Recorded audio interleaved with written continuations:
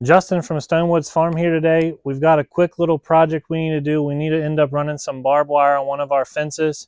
So the whole plan today is to get a little rack to be able to hold this barbed wire so that we can unravel it and stretch it out. So let's get started. So my plan is to try and take um, a couple of these salt treated boards here and put them together like feet and put four by fours here and here and then run the pipe between the 4x4s. Just something that gives it a solid base. And I'll probably take this board and try and reinforce here and here just to give us something to pull against.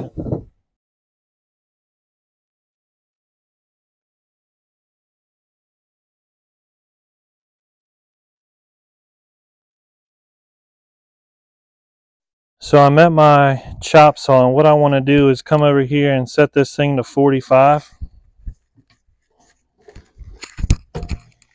Like so.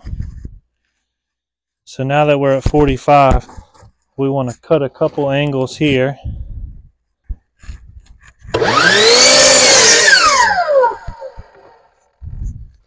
So basically we want to come down a little bit and we end up, want to end up flipping this guy around, make another cut.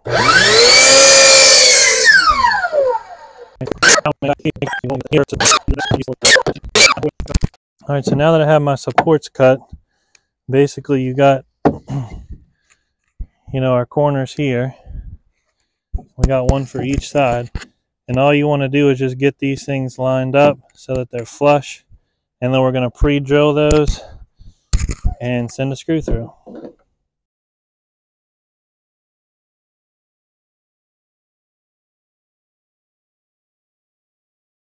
Our two stands and basically the whole thing here is we're going to need to spread these guys out wide enough that we can fit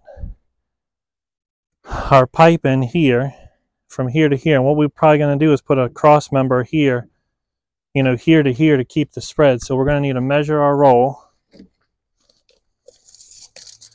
which our roll is about It's about nine inches. So let's just say a foot to give us an extra room to play. And we'll measure a foot here. Bring this one in a little bit.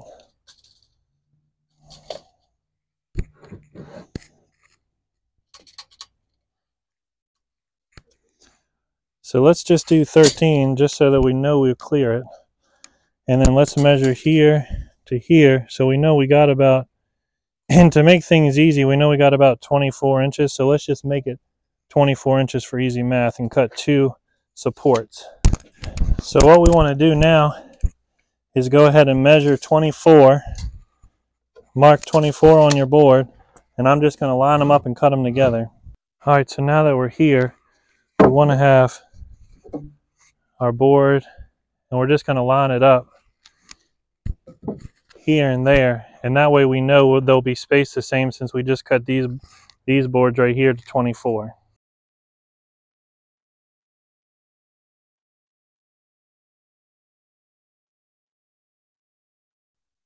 we have our base made and this thing will hold up pretty good. And now what we need to try and do is take our wrought iron bar and we're going to want to cut through here so that the barbed wire can go right here. I'm going to go down three and then go over to one and three quarters, almost, yep, right there. So now I'm going to come through.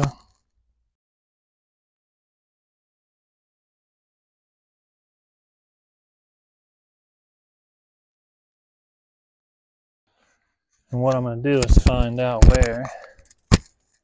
So it's about at two and a half. And we'll go three inches down. So out here, we'll go three inches down. And we're about, the middle of our thing is about two inches, just shy. So that's our mark.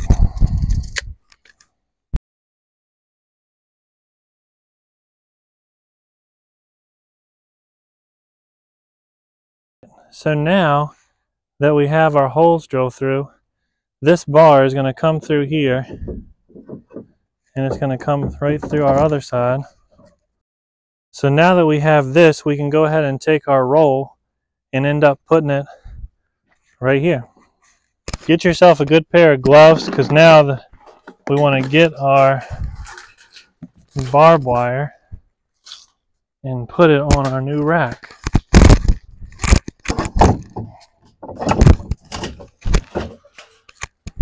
So right now, we have our new rack.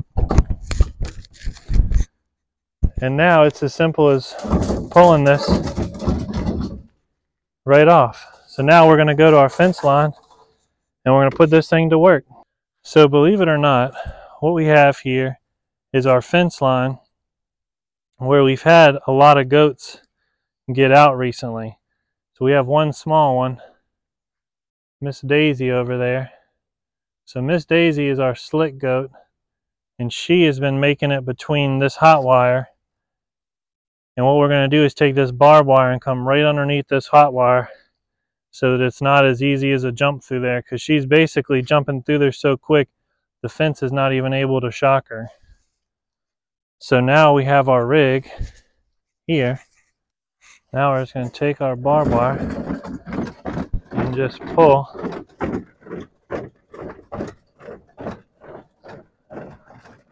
pull our line all the way out.